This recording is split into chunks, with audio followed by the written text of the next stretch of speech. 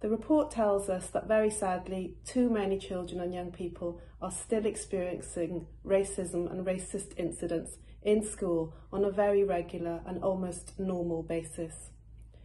It also tells us, very sadly, that most, most children and young people don't feel that it's worth reporting these incidents because they don't think that anything will happen or that the school will take it seriously. We also heard from teachers and many other stakeholders who also said that teachers too would welcome and would value more support and more guidance to enable them to respond to racist incidents more effectively.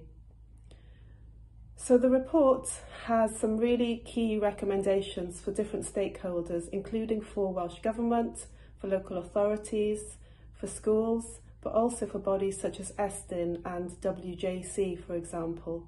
And we really hope that those different bodies will read and take seriously the recommendations made in the report.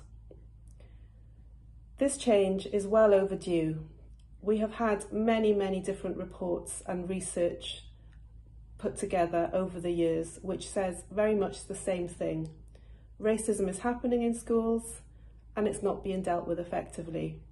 So as part of Welsh Government's drive to create an anti-racist Wales, we really hope that this report contributes to making schools a safer place where children and young people can feel confident that their experiences will be taken seriously and will be acted upon. So thank you once again for taking part and for your contributions and I sincerely hope that this will bring about the change that we all want to see. So diolch yn fawr.